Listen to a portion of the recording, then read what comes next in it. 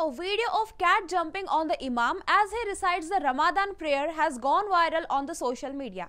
Cats are known for their playful and mischievous behavior and the video that capture their antics are always amusing to watch.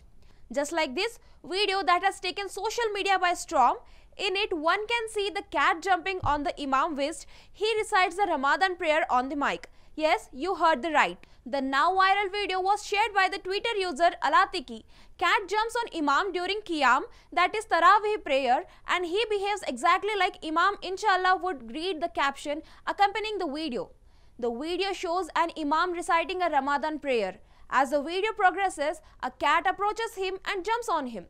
Unfazed by the cat's presence, the Imam kept on reciting the Ramadan prayer and even petted the feline. Towards the end, the video, the cat jumps back on the floor. Since being shared a few hours ago, the tweet has raked up more than 2 million views and the numbers are still increasing. The share also accumulated a plethora of likes and comments. Here's how the people reacted to the video.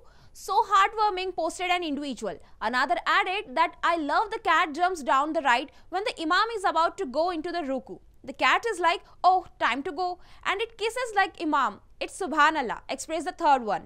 A fourth shared the good things that the Imam proceed and didn't lose his concentration. And the cat is loving and heartwarming sin. This is how people reacting towards this. For getting more interesting news like this, don't miss to subscribe our channel.